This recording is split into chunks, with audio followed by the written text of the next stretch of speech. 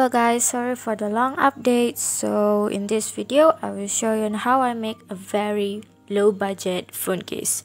So let's go!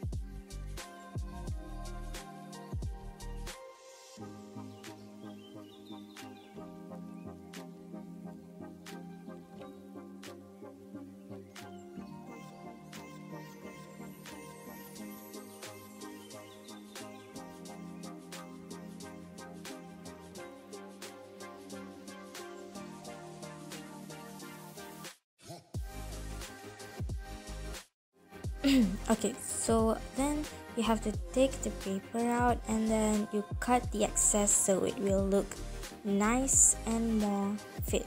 Okay so remember Inosuke right? Well I lose him so that's why I use Zenitsu